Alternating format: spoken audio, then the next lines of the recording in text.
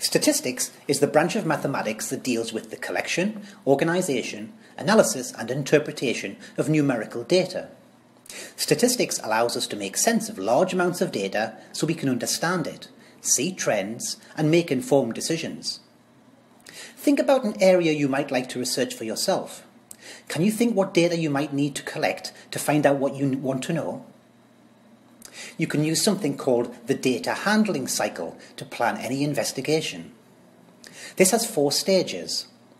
Design and plan how you will go about it. Collect the data. Process and represent it. And interpret and discuss your findings. Data can be collected from many sources. A survey, for example, in which questions may be posed to everyone or just to a sample of the population. Experiments are another source of data, such as observations in science or geography. The data is recorded on a data collection sheet in the form of a grid, chart or table. Types of data can be categorized. Primary data is that which you collect yourself. Secondary data is that which someone else has collected. You must also be aware of discrete, continuous, and qualitative data. Discrete data can only be of particular values, each of which can be counted up. Continuous data can take any value within a range and can be measured on a scale. Qualitative data is descriptive in nature. It tells us a lot, but is not a numerical measurement of anything. In research projects, we often need to gather data for just a sample of a whole group.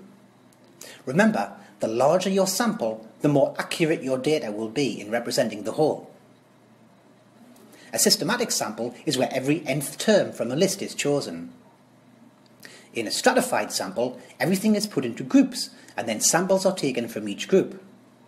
Why do you think this might give a more accurate understanding of the data? To interpret our data, we can use averages to represent it and to help us discover trends. Averages can be represented in a variety of ways, giving us useful tools for data analysis.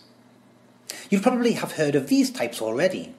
The mean, mode, and median. The mean of a set of values is the sum of those values divided by the number of pieces of data.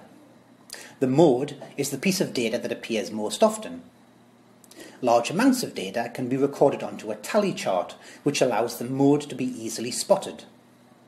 The median is the middle value when the data is written in numerical order, usually from smallest to largest. The range is the largest value minus the smallest value. It shows how wide the data is spread. If the range is large, this can change the mean significantly. In some data, we might find abnormalities. These are known as outliers.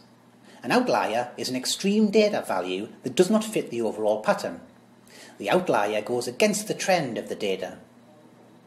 Once data is collected, it is often represented visually in a variety of ways to help us to analyse and interpret it. Always be careful to select the most appropriate method to display your data. Some methods can misinterpret your data or be misleading. Have a look at the following examples. How would you interpret these?